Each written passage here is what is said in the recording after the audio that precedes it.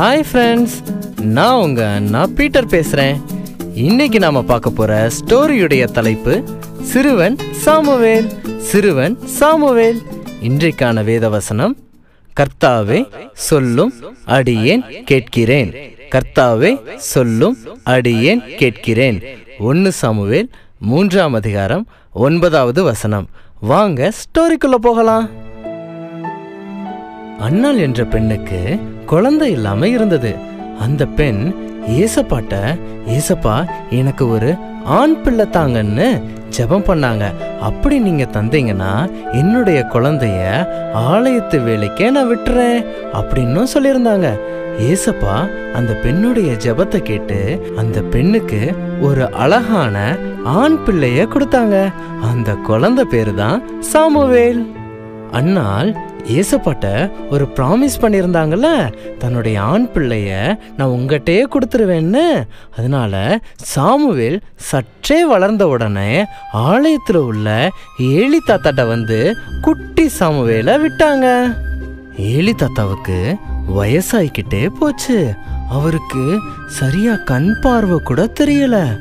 அந்த நேரத்துல அவருக்கு ரொம்பவே உதவியா இருந்தது யாருன்னா சாமுவேல் தான். சாமுவேல் ஏலி தாத்தா சொல்ற எல்லா வார்த்தைக்கும் கீழ்ப்படிஞ்சு சமத்தா இருந்தாரு.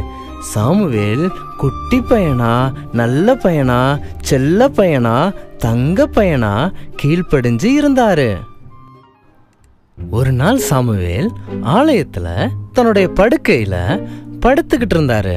அப்போ சாமுவேல் சாமுவேல் அப்படின்னு ஒரு சத்தம் கேட்டுச்சு. உடனே சாமுவேல் எந்திரிச்சு பார்த்தாரு. தாத்தா நம்மளை கூப்பிட்டுருப்பாங்களோ?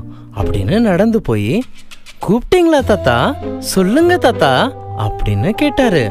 உடனே ஏலி தாத்தா நான் கூப்பிடலப்பா. நீ போய் சமத்தா படுத்துக்கோ அப்படின்னு சொன்னாரு. திரும்பவும் சாமுவேல் போய் தன்னுடைய படுக்கையில படுத்துட்டாரு. திரும்பவும் சாமுவேல் சாமுவேல் அப்படின்னு ஒரு சத்தம் கேட்டுச்சு. உடனே தாத்தா மறுபடியும் கூப்பிட்றாங்களான்னு சொல்லி எந்திரிச்சு தாத்தாட்ட போய் கூப்பிட்டீங்களா தாத்தா? சொல்லுங்க தாத்தா அப்படின்னு சாமுவேல் சொன்னாரு. உடனே தாத்தா நான் கூப்பிடலப்பா நீ போய் நல்லா சமத்தா படுத்துக்கோ என்ன? அப்படின்னு அனுப்பிச்சு வச்சாரு. திரும்பவும் வந்து சாமுவேல் தன்னுடைய படுக்கையில போர்வையை போத்திக்கிட்டு படுத்தாரு. திரும்பவும் சாமுவேல் சாமுவேல் அப்படின்னு சத்தம் கேட்டுச்சு. உடனே மறுபடியும் ஏலி தாத்தாட்ட போய் கூப்பிட்டீங்களா தாத்தா? சொல்லுங்க தாத்தா அப்படின்னு கேட்டாரு. உடனே ஏலி தாத்தா நான் கூப்பிடலப்பா நீ போய் படுத்துக்கோன்ன அப்படின்னு சொன்னாரு. சொல்லிட்டு ஏழி தாத்தாவுக்கு ஒரு யோசனை. ஒருவேளை ஏசப்பா சாமுவேலை கூப்பிடுவாங்களோ அப்படின்னு சொல்லி சாமுவேல் அடுத்த முறை சத்தம் கேட்டா கர்த்தாவே சொல்லும் அடியேன் கேட்கிறேன். அப்படி சொல்லணும் சரியா? அப்படின்னு சாமுவேலை அனுப்பி வச்சாரு. சாமுவேல் மறுபடியும் போய் படுக்கையில படுத்தாரு. மறுபடியும் அந்த சத்தம் கேட்டுச்சு.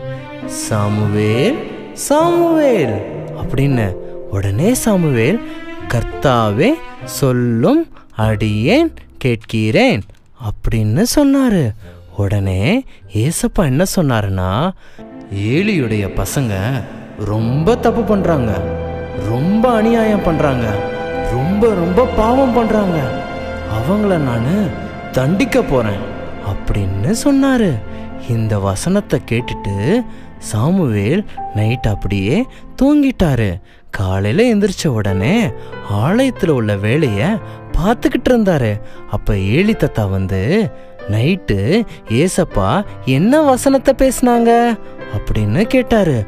உடனே சாமுவேல் ஏசப்பா என்ன சொன்னாங்கன்னா உங்க பசங்க ரொம்ப சேட்டை பண்றாங்க. அதனால தண்டிக்க போறாங்களாம். அப்படின்னு சொன்னாரு. சொன்ன உடனே ஏசப்பா எது செஞ்சாலும் நல்லது தான் செய்வாரு அப்படின்னு ஏழை தாத்தா சொன்னாரு. என்ன ஃப்ரெண்ட்ஸ் இந்த ஸ்டோரி உங்களுக்கு ரொம்ப பிடிச்சிருக்கும்னு நான் நினைக்கிறேன். இந்த ஸ்டோரியில் நாம் கற்றுக்கிற முக்கியமான பாடம் என்னன்னா சாமுவேல் ஏசப்பா கூப்பிட்ட உடனே சொல்லுங்க ஏசப்பா நான் கேட்குறேன் அப்படின்னு சொன்னார். ஆனா நாம அம்மா உதவிக்கு கூப்பிட்டாங்கன்னா நான் டிவி பார்த்துக்கிட்டு இருக்கேன். வேற வேலை இல்லையா உங்களுக்கு? அப்படி நம்ம சொல்ல போறோமா? இல்ல நாம சாமுவேலை போல கீழ்ப்படிய போறோமா? நாம கத்துக்கிற இரண்டாவது பாடம் என்னன்னா சாமுவேல் ஏசப்பா வசனத்தை ஏலி தாத்தாட்ட ஷேர் பண்ணாங்க. அதே போல நீங்களும் ஏசப்பா வசனத்தை மற்றவங்ககிட்ட ஷேர் பண்ணுவீங்களா? ஓகே ஃப்ரெண்ட்ஸ் இந்த ஸ்டோரி உங்களுக்கு ரொம்பவே பிடிக்கும்னு நான் நினைக்கிறேன். மீண்டும் ஒரு ஸ்டோரியோடு நான் உங்களை சந்திக்கிறேன். பாய்